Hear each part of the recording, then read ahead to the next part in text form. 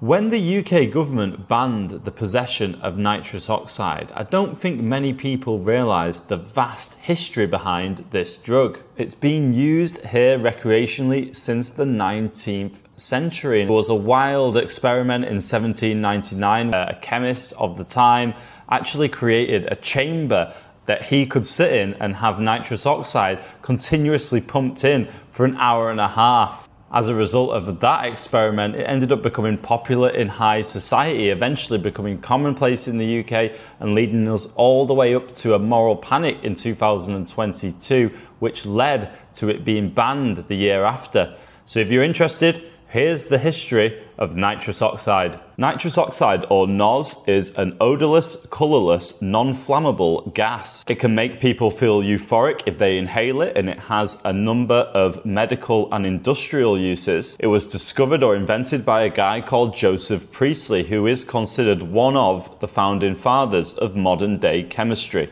He discovered a bunch of different gases over his career, and one of them that he discovered in 1772 was nitrous oxide. Nobody really thought much of it for a while until the 1790s. That was when Sir Humphry Davy, one of the most brilliant scientists of the day, came into the picture. Now, he experimented with the psychotropic properties of NOS at the Pneumatic Institute in Bristol. He was trying to find gases that was going to help treat diseases. He came across nitrous oxide, which was a relatively new discovery at the time, and he decided to test it upon himself. He began laughing uncontrollably and dancing around the lab, in his words, like a madman.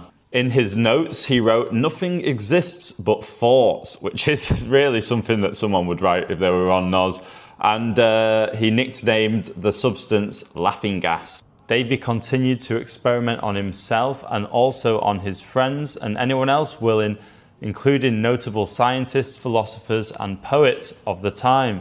He took extensive notes of his and the other people's experiences with nitrous oxide. One of the poets who was given the gas by Davy was Robert Southey, who went on to become a poet laureate. He said, the atmosphere of the highest of all possible heavens must be composed of this gas. Guys, if you find these videos useful or interesting at all, uh, then do me a favor, follow me and click the bell notification next to my name to get the videos first. It all sort of accumulated into this one epic uh, experiment with nitrous oxide, even though Davy had uh, tried it a number of times through the 1790s. Um, in 1799, he had the big nitrous oxide experiment. He was already famous for being the inventor of the miner's lamp. He was also president of the Royal Society and considered a genius of British science. So he stripped himself down to the waist, placed a thermometer under his armpit, and stepped into a sealed box specifically designed by the engineer James Watt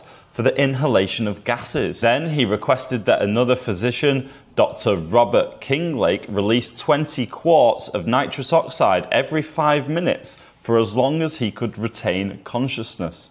Wow. That is uh, one of the wildest ways I've ever heard of anyone taking nitrous oxide. Even then, in the year 1799, it was considered a, a controversial and ambitious uh, experiment. The more I read about this experiment, the wilder it gets. So basically, any of the gas that was escaping out of the sealed container where Davy had sort of uh, submerged himself within was collected in, in other silk bags. But when he decided that his body was saturated enough with nitrous oxide, he left the sealed container and started inhaling these silk bags that had collected the extra gas. So nothing was wasted, apart from perhaps him himself. According to this book by the author Mike Jay, while seated in the box breathing deeply, Davy had felt the effects that had become familiar from his many previous experiments since he had first inhaled the gas earlier that year. The first signature was its sweet taste, followed by a gentle pressure in the head as he continued to inhale.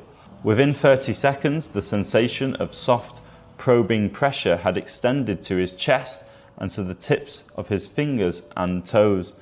This was accompanied by a vibrant burst of pleasure and a gradual change in the world around him.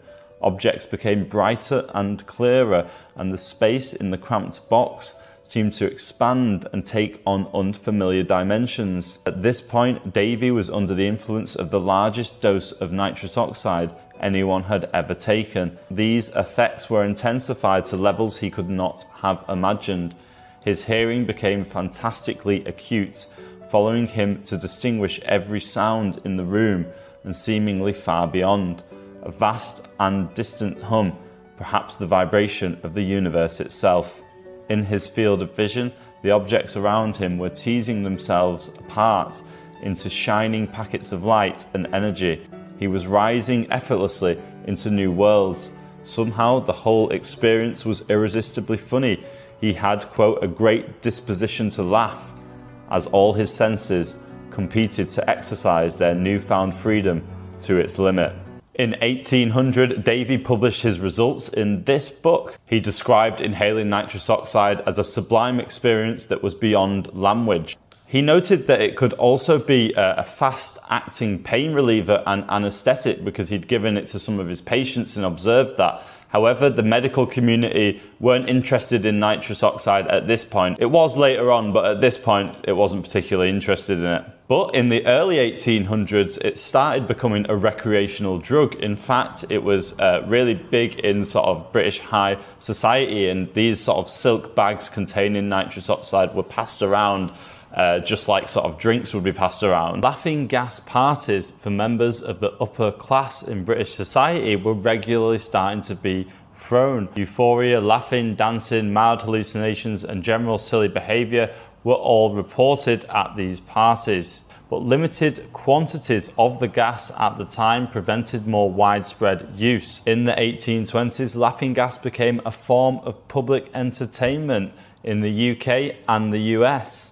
It became a curiosity of science because of stage demonstrations put on by showmen.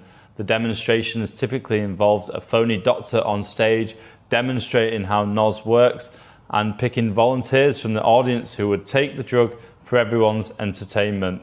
And later in the 1830s, Samuel Colt, who would go on to make his uh, name in the world of guns, he toured the US and Canada with a portable lab giving laughing gas demonstrations. In 1844, the medical community recognized uh, the medical applications of nitrous oxide in psychiatry and anesthesia. It's used in modern dentistry, but it's always mixed with oxygen and it's used at low doses to avoid side effects like people sort of tripping out. Although the routine medical use of nitrous oxide in anesthesia is definitely massively declining in the UK and internationally. It's also used in the food industry uh, in catering as a mixing and foaming agent. It's also used in the motoring industry as a fuel booster.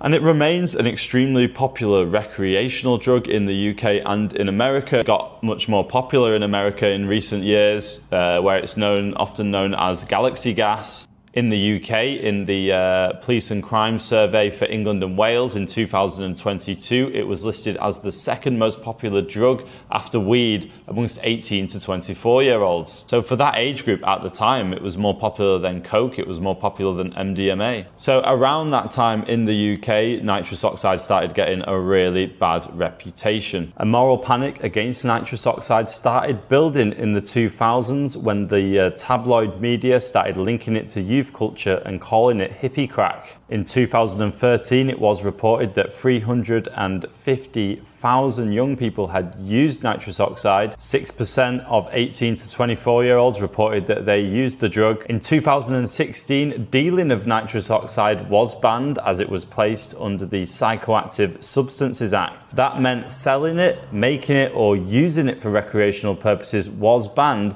but possessing it was not. So possessing it was legal, um, but taking it or sort of selling it was illegal. The police did reserve the right to confiscate it off young people, however, they uh, weren't able to criminalise them for it. One of the things that was the last nail in the coffin for nitrous oxide was around 2020 when it, the way that it was bought and sold in the UK changed.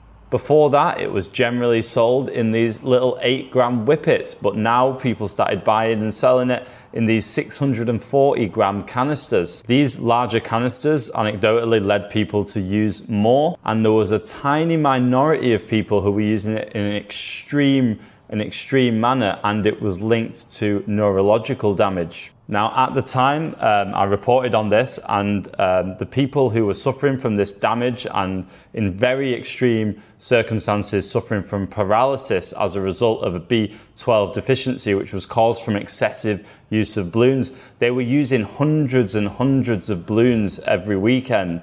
So it was very extreme patterns of use, but the media were picking up on each one of these uh, isolated cases and reporting on them big time, which, uh, which led to, again, uh, a really bad public perception of nitrous oxide. At the time, I interviewed Professor Harry Sumnall, who's an expert on recreational drugs, and he told me overall the health risks of nitrous oxide, in my view, probably aren't sufficient for control. I think the recent media focus on some of the extreme and rare neurological damage has provided quite a focus point in public discussions around nitrous oxide, and there's been a lack of discussion about how common these types of extreme effects are. They are very rare. Drug Science, one of the leading educational bodies when it comes to recreational drugs, released a statement about it all on their website. They said, quote, over the past 200 years, the recreational use of nitrous oxide as laughing gas has not been associated with significant harms. For this reason, the ACMD, that's the Government uh, Advisory Board on Drugs, did not recommend control in their 2015 report on nitrous oxide. They added, for the vast majority of users who take nitrous oxide four to five times a year, inhaling on average three to four balloons, it's remarkably safe. To be completely honest about it, the risks of NOS are relatively low as long as you stick to the two golden rules. Rule number one never inhale it directly from the canister. Um, that can be quite dangerous because it comes out so cold uh, that it can uh, damage your throat or lungs. You could even get frostbite uh, from doing that. So always use a balloon. And the other one is don't use extreme amounts. The examples that were used in the media that bastardized uh, nitrous oxide to the point of it being banned um, were all people using an extreme amount, like hundreds of balloons. Um, so obviously, don't take hundreds of balloons. I saw one example where the uh, uh where the journalists were pointing out that someone had had um, this neurological damage, um, but they'd been taking 600 balloons in a weekend. Well, yeah, if you take 600 of anything in a weekend, there's going to be consequences. If you had 600 cups of coffee in a weekend, you'd be ill. But despite this, the moral panic in the press continued, and every time there's a moral panic, the uh, the politicians do exactly the same thing. They go, "Shit, everyone's talking about this thing. Well, we need to look good. Okay, well, we'll crack down on the thing." An everyday party drug also a tool for whipping cream. Now, nitrous oxide is set to be a banned drug. On the 13th of September 2023, the Home Office confirmed that possession of nitrous oxide would become illegal at the end of the year. The drug is now treated as a Class C controlled substance under the Misuse of Drugs Act 1971. Um, but it's also very important to put it, put it into context. You know, 3.9% of 16 to 24 year olds use the drug regularly. That's according to the government's latest statistics from last year. Um, so, you know, these harms, although they're quite eye catching, they are very, very rare and associated with very extreme patterns of use. Um, so I think that it's important to put that into context as well. It is a lower risk profile than many other drugs, including alcohol. Mm. Uh, do you think that the people the government did what they always do. They went to their own scientists at the Advisory Council for the Misuse of Drugs um, and they asked them to provide a report and an opinion on whether nitrous should be banned. They said no, they think that if you ban it, the harms will uh, increase. And then 15 of the leading neurologists and people in other uh, related health fields signed an open letter to the government urging them not to ban nitrous oxide, but they went ahead with the ban anyway. But it didn't make a difference. It's still a very popular drug, as it has been since 1800.